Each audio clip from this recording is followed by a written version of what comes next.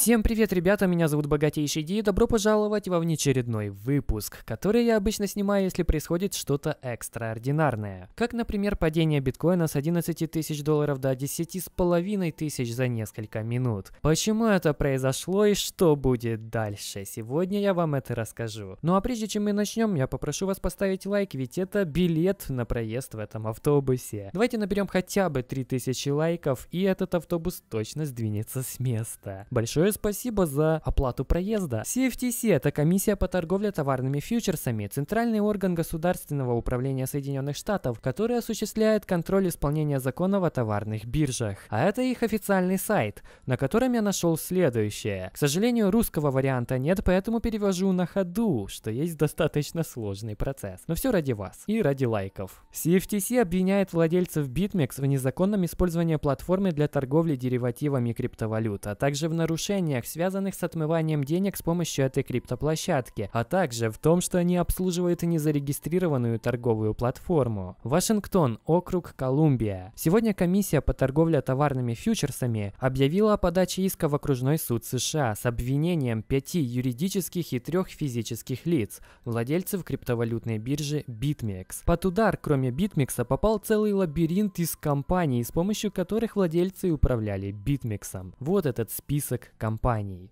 Всех их обвиняют в том, что по крайней мере с ноября 2014 года по настоящее время по указанию владельцев BitMEX незаконно предлагал товарные фьючерсы, опционы, кредиты на криптовалюты, включая биткоин, эфириум и лайткоин, и позволял трейдерам использовать кредитное плечо до X100. Здесь очень важно, что скорее всего и BitMEX последует вслед за теми биржами, которые потребуют от своих клиентов раскрытия личности через прохождение процедуры «Знай своего клиента». Ведь виски BitMEX обвиняют также в том, что криптобиржа нарушает правила из-за невыполнения процедуры «Знай своего клиента», правила информирования клиентов и процедуры по борьбе с отмыванием денег. Учитывая, что BitMEX позиционирует себя как крупнейшую в мире платформу криптовалют с объемом торгов в миллиарды долларов, и то, что большая часть этого объема приходит от клиентов из США, это событие носит крайне тревожный характер. На самом деле полный документ обвинения насчитывает 40 страниц, но главные моменты я вам озвучил видел. Вот почему биткоин сегодня упал на 500 долларов за несколько минут. Но чего же добивается американский регулятор? Неужели он хочет дампить крипторынок? Нет, он хочет пересечь противоправные действия, а также согласовывать их в правовом соответствии с законом.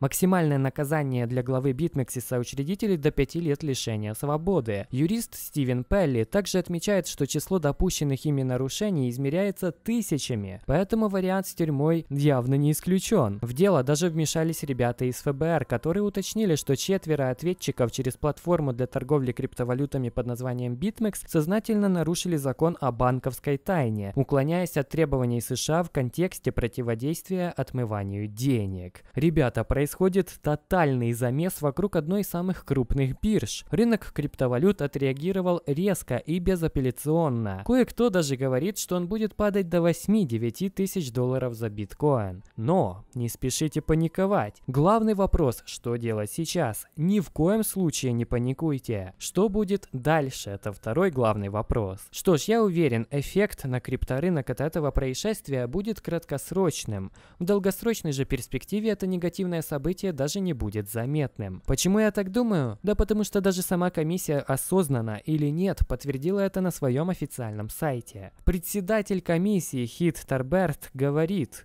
Цифровые активы открывают большие перспективы для наших рынков деривативов и для нашей экономики. Большие перспективы для нашей экономики, говорит. Для того, чтобы Соединенные Штаты стали мировым лидером в этой сфере, необходимо искоренить подобную незаконность. Он прямым текстом утверждает, что Штаты хотят стать лидером в криптовалютной сфере. Новые и инновационные финансовые продукты могут процветать только при таких условиях. Мы не можем позволить злоумышленникам, нарушающим закон, получить преимущество перед биржами, которые поступают правильно, соблюдая наши правила. Как вы теперь понимаете, у них нет задачи навредить крипторынку. Более того, они говорят о том, что криптовалюты это будущее финансового мира и цифровой экономики. И даже прямым текстом говорят о том, что США хотят стать мировым лидером в этой сфере сфере. А значит, происшествие с BitMEX это только шаг на пути к этому цифровому будущему. И если рассуждать так, как эта комиссия, в принципе, это даже позитивное событие. Кстати говоря, меня до сих пор удивляет, что существуют люди, которые скептически относятся к криптовалюте. Ведь даже комиссия по торговле товарными фьючерсами США, официальный регуляторный орган, говорит, что криптовалюта это будущее цифровой экономики. О чем тут еще можно спорить? Так что, ребята, не падайте а я лишь рад купить на 500 долларов дешевле и куплю еще, если курс продолжит падение после этой новости. На этом позвольте откланяться. Меня зовут Богатейший Ди, и, кстати, не забудь поставить лайк. Лайк это типа билет на этот автобус.